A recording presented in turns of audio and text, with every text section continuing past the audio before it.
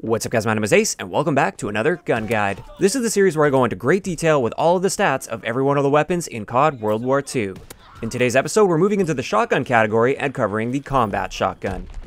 Now the combat shotgun in this game is actually based off of the Winchester Model 1897, but once again there were likely some licensing issues here, and therefore they had to make up a name of their own, and they went with the combat shotgun for whatever reason. I feel like they could have been a bit more creative with that. But with the Winchester 1897, this was actually in production from 1897 all the way up to 1957, so for a very, very long time. The model used in Call of Duty World War II appears to be a 12 gauge. And normally I cover the real life rate of fire, but since this is a pump action shotgun, your rate of fire is essentially how fast you can pump it and pull that trigger. Getting into COD World War II, they actually followed suit with the Black Ops 3 model of shotguns, where they deal a base damage just for getting a hit, and then on top of that base damage, you get a damage per pellet. So the base damage profile with the combat shotgun is 94, 84, 40. On top of that base damage, for every pellet that you hit, you will deal 2 damage to your target. So let's just say you're in your maximum damage range, we're right up close and personal. If I hit one single pellet, it will deal that 94 base damage plus 2 damage for that one pellet that hit, and therefore I'll be dealing 96 damage. If I'm right up close and personal and I hit all 8 pellets, because each shot that you fire will fire 8 pellets, then I will deal 110 damage because it's that 94 base damage, plus 2 damage per pellet times 8 pellets, that gives us 110 total damage. So our maximum damage per shot, assuming every single pellet hits with the combat shotgun, is going to be 110 damage up close, 100 damage at medium range, and 56 damage at those longer ranges where you're still able to get a hit though. Our rate of fire with the combat shotgun is approximately 58 rounds per minute, and with rapid fire that bumps it up just a little bit to about 61 rounds per minute. Now, normally here I would cover headshots, but the combat shotgun in this game gets no additional damage for headshots whatsoever, so headshots are literally irrelevant on this gun. And now let's get into the ranges. This is what really matters with the shotguns. The first damage range, where you're dealing that 94 base damage, extends out to 6 meters. That means from 0 to 6 meters, if you hit 3 pellets out of your 8 pellets in your shot, you will be getting the kill. Now our next damage range extends from 6 meters to 10 meters. In this damage range, we deal 84 base damage, which means you have to hit literally every single one of the 8 pellets in order to get a one-shot kill within this range. It is possible, but it's very likely you'll end up just getting a hit marker and having him really, really close to death. Now from 10 to 15 meters, this is where we get into our minimum damage range where we deal that 40 base damage, and therefore it could take you 2 to 3 shots to get a kill. If you're hitting at least 5 pellets per shot, you can kill in 2 shots at this range, but if you're hitting less than that, it's going to take you 3 shots to kill. Keep in mind, in core game modes on a full health enemy that doesn't have any sort of armor or anything, the combat shotgun will never take more than 3 shots to kill because you're dealing that 40 base damage. Even if you're only hitting 1 pellet per shot, it's still only going to take 3 shots maximum to get a kill. Now beyond that 15 meter range, this is where the shotgun deals literally no damage. The pellets just fade out of existence, they don't deal any damage whatsoever to your enemies. As for advanced rifling, according to the hard stats that I now have access to, apparently advanced rifling increases your ranges by 13%, but it reduces your long range damage. However, when I hand test this, I don't see any noticeable difference whatsoever to the one-shot kill potential with this weapon, and basically the only observable difference that I noticed is that it increases your ability to get a hit marker at those longer ranges, like beyond 15 meters. Aside from that, I can't tell any situations where advanced rifling is actually helping you out. As for hardcore modes, basically the way this works with the base damage is if you can hit your enemy, you will be getting a kill. You should never, ever get a hit marker with the combat shotgun in hardcore modes. Now normally here, this is where I'd take a look at recoil and idle sway and all that kind of stuff. This stuff is pretty much irrelevant with the shotguns, but let's get into our pellet spread when we're hip firing versus when we're aiming down sight. As you can see here, without steady aim, this is our normal hip fire pattern. You can see where our 8 pellets went. It's got a decent amount of spread to it, a couple little outliers there, and you will often be missing pellets unless you're right up close and basically touching your enemy. When we aim down sight though, this actually tightens up our spread on our shot and you can see that very clearly by this image here. So usually if you're within that 6 to 10 meter range or even beyond that, aiming down sight is likely going to be your best bet. But generally within 6 meters, usually you just want to hip fire because you only need to hit those 3 pellets. But if you have the time and you want to make extra sure you're going to kill the guy in one shot, aiming down sight is a surefire way to tighten up that spread and make sure you're hitting the maximum amount of pellets.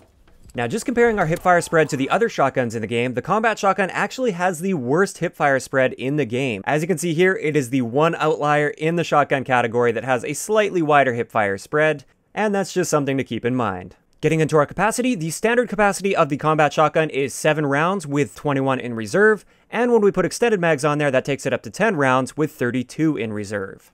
As for our reload time, the reload time is a little bit unique with the shotgun because we load one shell at a time. We don't just reload a whole magazine all at once. So our first shell is going to take 0.67 seconds to reload, and then every shell after that, if you don't break your reload and you just keep reloading, is going to take 0.6 seconds to reload.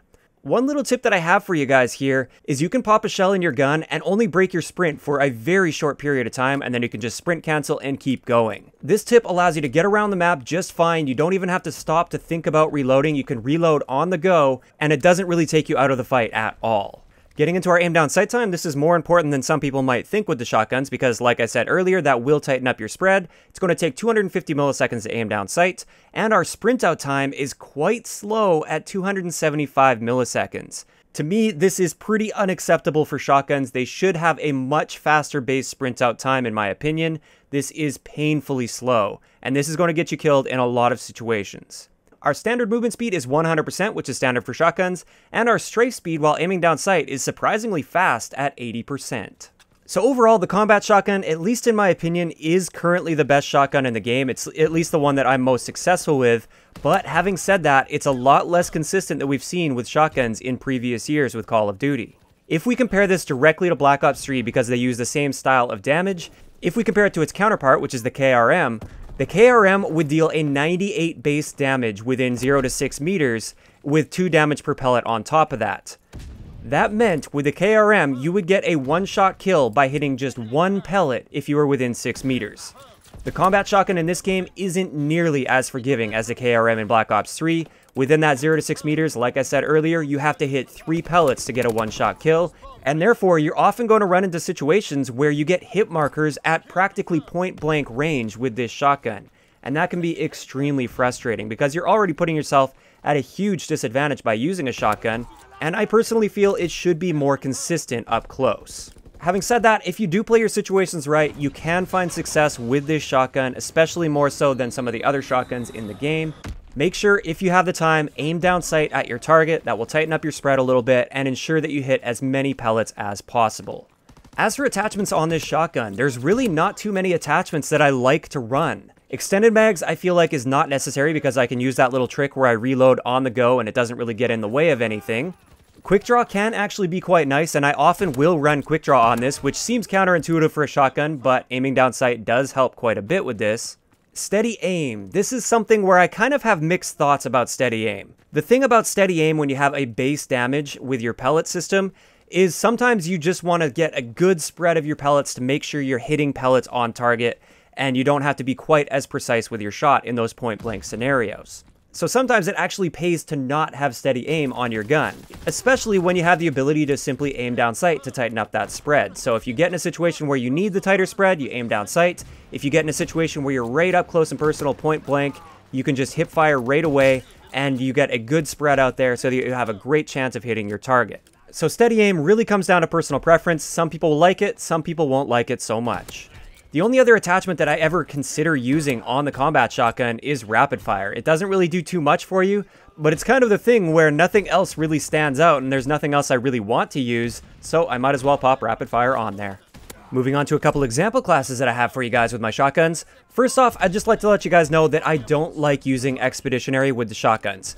If you guys haven't seen my video about the incendiary shells in this game, I will leave that link down below, but at least on the combat shotgun, incendiary shells are usually actually a detriment to you, so I don't like running those at all, and I don't really like the perks of Expeditionary either, so normally I actually prefer running Airborne. So this is an Airborne class that I have for you guys. We've got the combat shotgun with quick draw and rapid fire, Gunslinger is our basic training perk. This is something that I use 100% of the time when I'm using a shotgun, because like I said earlier, that base sprint out time is unacceptable for shotguns.